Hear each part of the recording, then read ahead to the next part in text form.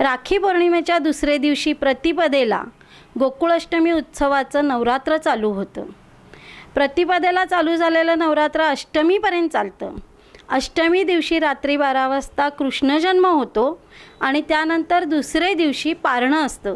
पारण्या दिवशी दहीहंडी गोपाळकाला आणि प्रसाद असा कार्यक्रम एकूण ह्या गोकुळाष्टमीचा असतो. तर ही गोकुळाष्टमी का करायची? कृष्णानं काय संदेश दिला ह्याचा आपण थोडासा विचार करूया.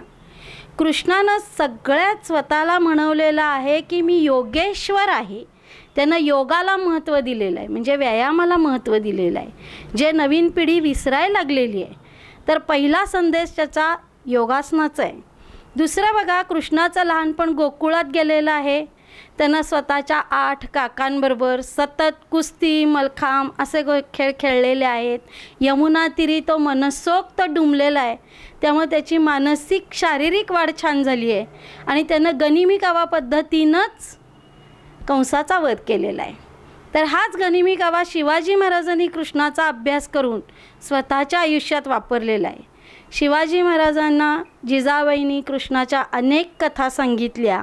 शिवाजी महाराज म्हणतात की कृष्णाच्या अभ्यासामुळं मी मोठा झालो आणि परदेशातला एक प्रसिद्ध माणूस म्हटला.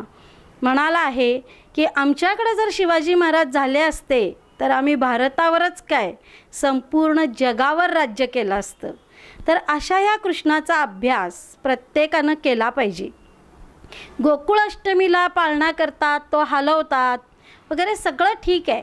पण तिथनं घरी जाऊन किती आया आपल्या मुलांना कृष्णाच्या कथा भावार्थासकट सांगतात हा महत्त्वाचा मुद्दा आहे.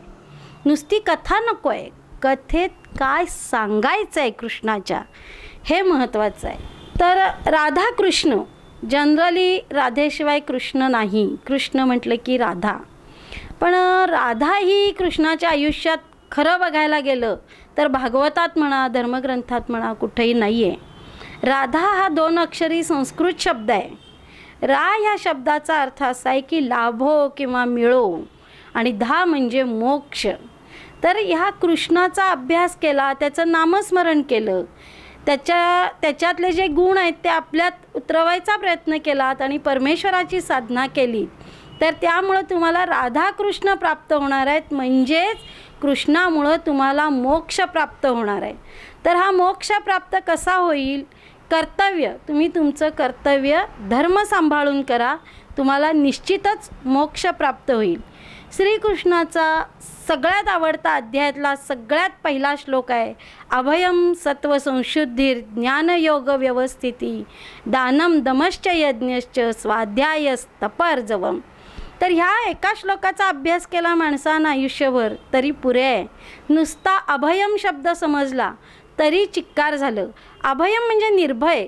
पण मी कुठलंही कृत्य केलं तर मी निर्भय होऊ शकत नाही. मी तेव्हाच निर्भय होतो जेव्हा मी सन्मार्गानं सत्प्रवृत्तीनं आणि सदाचारानं वागेल. तर अशा या कृष्णाला माझे कोटी कोटी प्रणाम.